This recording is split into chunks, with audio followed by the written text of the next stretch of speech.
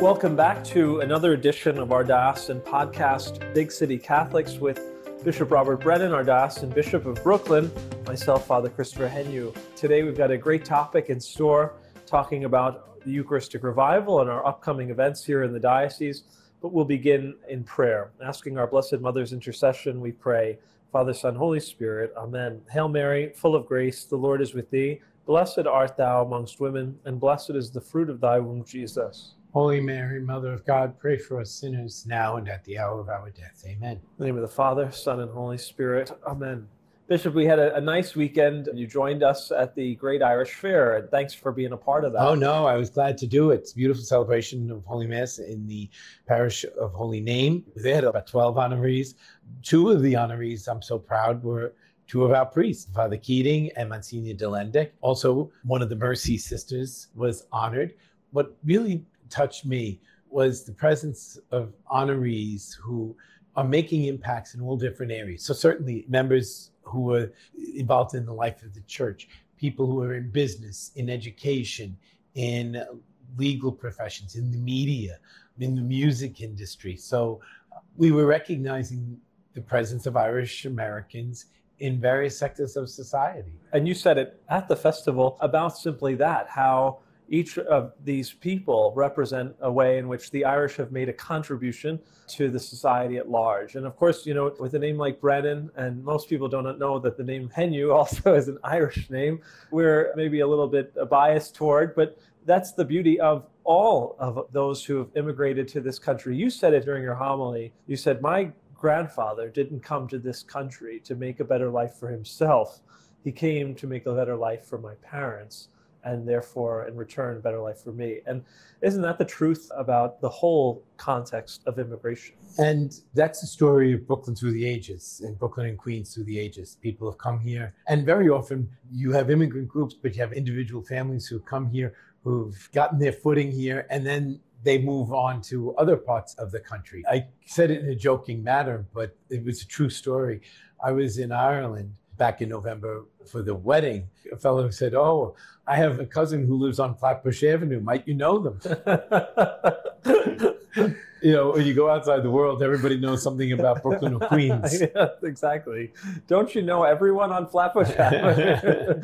but you're right. These are stories, the hopes and the dreams of people who come to our country. Right now, we're seeing something that really could be described as a crisis with people who are coming here in such great numbers and in the midst of such bedlam. You hear now of the city saying that they're overwhelmed by it. And there are a lot of political aspects to this. I don't deny the political concerns at all. I think people have a right to law and order. I think there are some humanitarian questions that this bedlam isn't fair to the people who themselves are seeking asylum, that the human dignity of our people is being kept. I think that on both sides of the political aisle, there's a greater concern for political goods than for people in general. And you know, there's a lot of finger pointing, but we have to really focus what the church has always proposed is comprehensive immigration reform, which respects the dignity of the human person, which seeks law and order, which is constantly building up society. But with respect for all of that, where we are in the church is we meet the needs of our neighbor and we respond to the call of Jesus Christ. If somebody's hungry, we try to give them food. If someone's thirsty, we try to provide drink.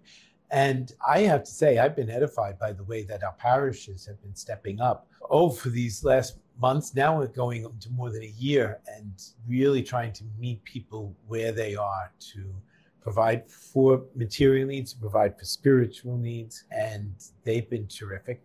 Catholic Charities has been out in front of the issue, again, helping people really just to try to unravel all the mixed results they get too. They're getting all kinds of contradictory information from the system, from the, the system itself. We're doing the best that we can to meet people. But again, it's always got to be rooted in human dignity. We hope that every church is a place of refuge for all those in need. As Pope Francis would say, it's, it's the field hospital where we can seek refuge, where we can seek healing and support. I'll say, you know, that when I travel to different countries, you feel a sense of comfort when you see a Catholic church. I do, that you say, This is a place where I know that I'll find home if I'm in need. And many of our recently arrived asylum seekers do come and knock on the church's doors. And- well, you know, in the beginning of the reality we're facing right now, that's exactly what people were doing. People were coming to the church because they were looking for churches. There were people who showed up in our parishes because they were looking for that spiritual nourishment. Of course, they were also hungry, and of course, Sure. the pastors were able to help. I remember meeting a couple at the Co Cathedral. I think it was New Year's Day, and they were really there for mass, but the need was quite evident. We do the both and, and at the same time, we call out for human dignity, for a system that works, that doesn't overwhelm. Our nation has a right to secure the borders.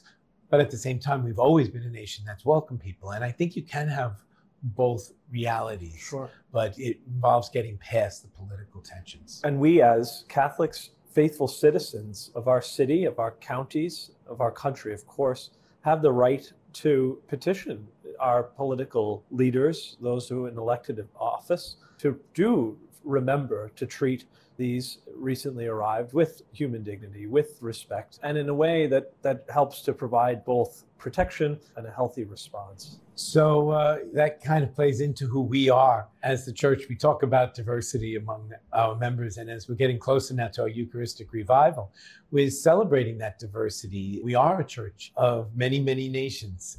We are a church of people who pray in different languages, but come together. I've recently been using a prayer from the old missal.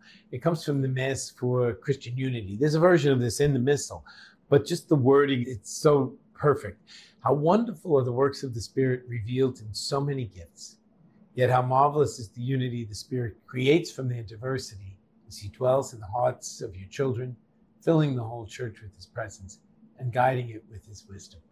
One of our great realities in the Diocese of Brooklyn and Queens, which is the reality of the Universal Church, is that we see such a diversity, a diversity of peoples, but really also a diversity of gifts, people who have different gifts and talents, which they give to the life of the church. But where the Spirit is at work, is bringing about unity within that diversity, that we come together as one family to praise God. We come together as one family and are united by the same gospel, the gospel of Jesus Christ, which is rooted in the truth. And we come together to the one sacrament of the Eucharist. And, and each of the sacraments, we're united by one faith, one baptism. We're united in the celebration of the Eucharist and in all the gifts that the Lord gives to us. It's true. And I think in preparation for our upcoming Eucharistic revival, which is taking place Saturday, October 7th at Maimonides Park, where the Cyclones play in Coney Island. Now, quite remarkable news just come out that we've basically almost sold out all the tickets. We, as of midweek, we were at uh, 6,200 people. That's Um, it's a wonderful thing. Now, again, we need you all to pray. Pray for good weather. We really need that good weather. And so we're looking forward to being together. You know, when we go to Washington, D.C., when we have our pilgrimage every two or three years in Washington, D.C., we have about 3,000 people. And that's really quite respectable. So when you think about it, wow, 6,200, we've doubled it. And as you say, you know, to bring 6,000 people together in our diocese, which is clearly going to be a reflection of the mosaic that is our diocese in our in different cultures, different languages. How are you prepping for that in terms of the liturgy? Is this a topic of that you plan to preach on? Yes, well, first of all, it's going to be something that's a lived experience. So certainly the multicultural aspect should come out in the music and throughout the whole day. But yes, there's a sense of that unity and diversity. But the unity is in our relationship with Jesus Christ. So if we're going to talk about the Eucharist, you know, where is this all coming from? The Eucharistic revival is a matter of our response to the crisis of faith, people's response to the real presence of Jesus, whether it be a matter of faith, belief, or a crisis of understanding. Either way, it's about real presence. But I started asking myself this question at the Chrism Mass over and over again, mulling it. That really goes back to our encounter with Jesus to begin with. Do we see Jesus as a real person? You know, there's the tendency to think of Jesus in terms of a really good person who lived a long time ago, whose work goes on as a great, maybe even an inspiring historical figure. But Jesus is risen. He intends to remain with us until the end of time. And he seeks for us to have a relationship with us. Jesus is not just a memory, but he's a living person who engages us in a relationship. And so, really, how do you believe or how do you express a belief in the real presence of somebody who is only a memory? It's not going to work. So, if we're going to have Eucharistic revival, it's going to start from our relationship with Jesus Christ and to his living presence in the church that he calls us together as the people of God, united in a universal way. How wonderful are the gifts of the Spirit revealed in so many gifts, yet how marvelous is the unity the Spirit creates from the diversity as he dwells in the hearts of your children, filling the church with his presence and guiding it with his wisdom. Beautiful. And we really do hope that's an aspect of this day that will live on in the diocese and in the hearts of those who attend. Right. So so maybe one thing for all of us, myself as I'm preparing what I may be talking about, but I invite everyone who's coming, or and even those who aren't coming but who are joining us in prayer that day, to reflect on that question in preparation. Where is my relationship with Jesus? Do I see Jesus as a real person in whom I can confide, as a real person who is deeply concerned about what I'm concerned about, who wants to share my burdens with me? and who wants to be involved in all the aspects of my life. So yes, that's the starting point for the coming.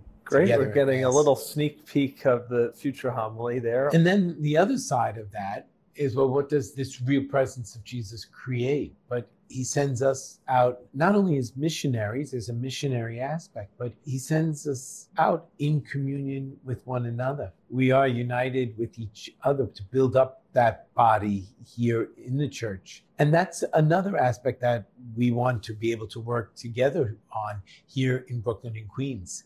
Our identity. We have great parochial identity, which is something to be very, very proud of, you know.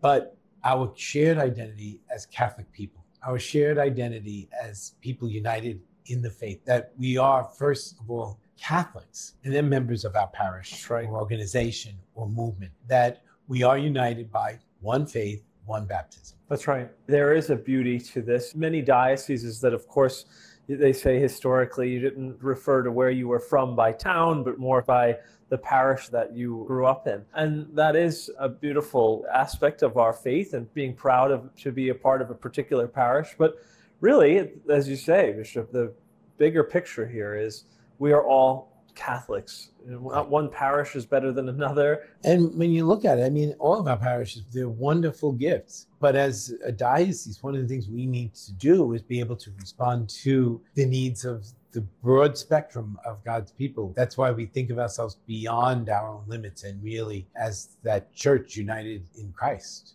So, Bishop, practically, you know, how do you see that lived out here in the diocese? How do you see an idea of universal Catholicism rather than parochial Catholicism. Well, you know, we've seen over the years, we were talking about this at the beginning of our conversation today, that great movement in our diocese. You know, all of a sudden you have a crowd of people, a very strong Catholic identity in one particular place.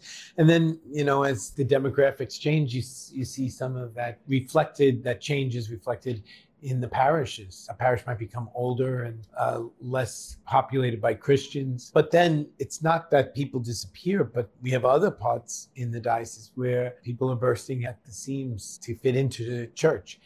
And so the church has to be responsive to where people are. And we also need to be able to work together, you know. So, for example, a parish might not be able to do all the works of a catechetical program. However, two parishes might be able to do that. Sure.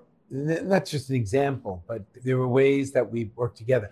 I'm not introducing anything new. That's been the story of Brooklyn and Queens too. That parishes have been able to work together and to join in on projects together. The same is true with youth ministry, maybe some of our outreach. Sure.